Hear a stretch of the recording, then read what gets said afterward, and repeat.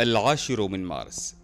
في مثل هذا اليوم من عام 1220 سقوط مدينة بخارى أمام قوات المغول بقيادة جنكيز خان بعد حصار دام ثلاثة أيام.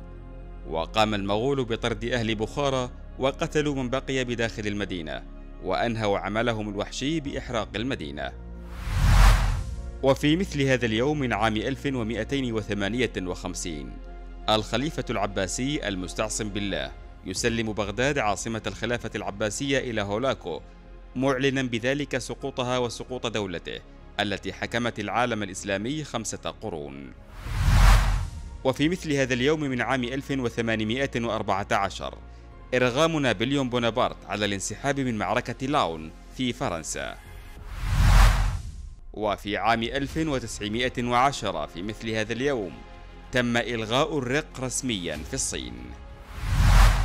وفي مثل هذا اليوم من عام 2004 مجلس النواب الفرنسي يوافق على مشروع قرار يحظر ارتداء الحجاب أو أي رموز دينية أخرى في المدارس والمؤسسات الحكومية.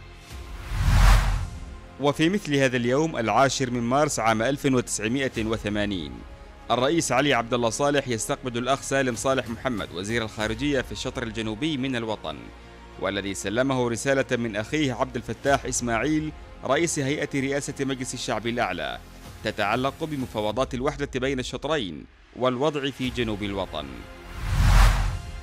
وفي مثل هذا اليوم العاشر من مارس عام 81 الرئيس صالح يتلقى رسالة من أخيه علي ناصر محمد رئيس هيئة مجلس الشعب الأعلى في الشطر الجنوبي من الوطن تتعلق بتعزيز العلاقات المشتركة بين الشطرين.